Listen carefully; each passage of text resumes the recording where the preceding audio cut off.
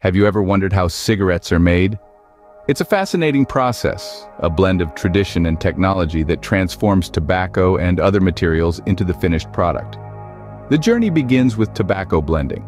Here, different types of tobacco leaves are thoughtfully mixed according to specific recipes. This creates the unique flavor profile that characterizes each brand. Next, the blended tobacco undergoes processing and conditioning. This involves drying, moistening for improved pliability, and cutting into fine strands. Additionally, various flavorings and humectants are added to maintain moisture and enhance taste. The processed tobacco is then fed into cigarette-making machines, where it's formed into a continuous tobacco rod. Simultaneously, a reel of cigarette paper is unwound, and the cut tobacco is wrapped in this paper, creating a long, continuous rod. Most modern cigarettes are filtered.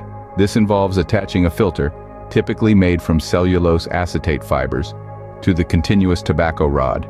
The rod is cut into two, and a double-length filter is attached in the middle with tipping paper, often bearing a brand logo. This assembly is then cut in half, effectively creating two cigarettes joined at the filter. Next, the machine cuts the cigarettes to the precise desired length. Each cigarette then undergoes automatic quality checks to ensure proper weight, diameter, and firmness. Defective cigarettes are swiftly removed from the line. Packing is the next phase. Here the cigarettes are automatically packed into boxes, typically containing 20 cigarettes per box. These boxes are then wrapped in cellophane to preserve freshness, batch-coated, and sealed. The packed boxes are grouped into cartons, usually containing 10 packs, which are then wrapped. Cartons are packed into cases for shipping, each case holding a specific number of cartons. Finally, the cases are distributed to wholesalers and retailers, eventually reaching you, the consumer. To summarize, the cigarette manufacturing process is a highly automated and precise operation. It starts with tobacco blending and ends with distribution. Along the way, continuous quality control checks ensure that the final product meets strict standards. And of course, throughout the entire process, Every step must comply with all relevant regulations, including health warnings and ingredient disclosures.